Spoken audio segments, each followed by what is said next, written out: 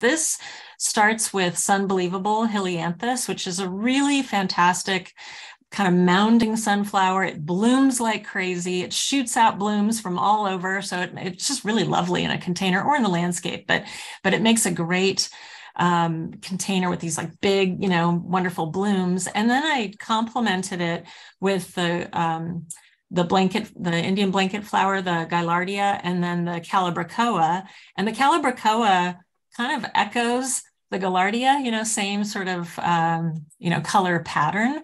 Um, and then I just added the, the sidekick lime sweet potato vine there. Um, and this is a container that can really go up through pumpkin, you know, season. And so you could switch out the the calibrachoa and the blanket flower there and, you know, substitute.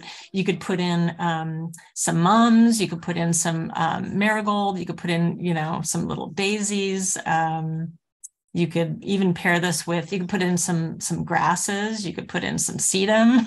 it's very versatile. I would keep the Sunbelievable kind of as the anchor and then I would just swap things out around it. But that that's unbelievable is going to stay in that container and just pump out the blooms all the way, like I said, till first frost.